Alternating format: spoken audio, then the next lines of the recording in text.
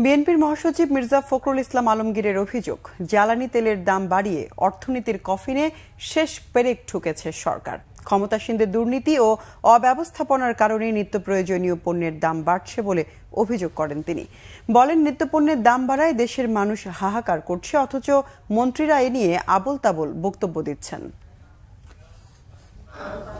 BNP chairperson Begum Khaleda জিয়ার গুলশান কার্যালয়ে এক সংবাদ সম্মেলনে দলের মহাসচিব মির্জা ফখরুল ইসলাম আলমগীর অভিযোগ করেন, সরকারের কিছু সুবিধাভোগী দুর্নীতিবাজ ব্যবসায়ীর হাতে দৈনন্দিন ভোগ্যপণ্যের বাজার জিম্মি। দেশের জনগণ এই দুঃশাসন থেকে মুক্তি চায়, লুটপাট, দুর্নীতি, অর্থ পাচার আর অপশাসন দেশটাকে সত্যিকার অর্থে অকার্যকর রাষ্ট্রে পরিণত করেছে। রাষ্ট্রীয় সব প্রতিষ্ঠানকেই বাকশালীরা ধ্বংসের শেষ প্রান্তে পৌঁছে দিয়েছে। বাগাড়ম্বর আর কাল্পনিক উন্নয়নের গল্প দেশের জনগণ আর শুনতে চায় না।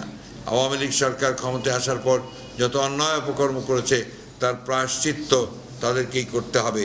সম্প্রতি জ্বালানির দাম বাড়িয়ে তারা জনগণের বেঁচে থাকার ন্যূনতম অধিকারটুকু কেড়ে নিয়েছে।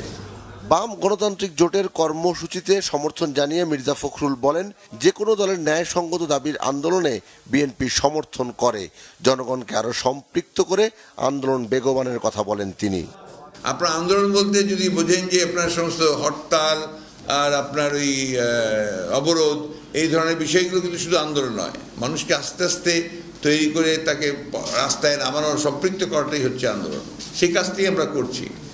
আমরা ইতিমধ্যে আপনারা লক্ষ্য করেছেন যে এই ফ্যাসিস্ট, আওয়ামী শক্তির সমস্ত আপনার যে অত্যাচার, নির্যাতন, নিপীড়ন সহ্য করেও কিন্তু মানুষ এখন আস্তে আস্তে বেরিয়ে আসতে শুরু করছে। এই বেরিয়ে যখন মানুষ আসবে, রাস্তা, রাজপথ যখন দখল করবে, তখনই আন্দোলনটা তার চরম পর্যায়ে যাবে।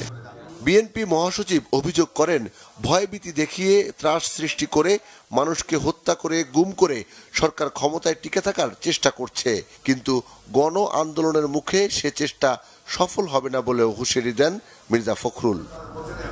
সিকান্দার রেমান, বাংলা ভিশন। ঢাকা।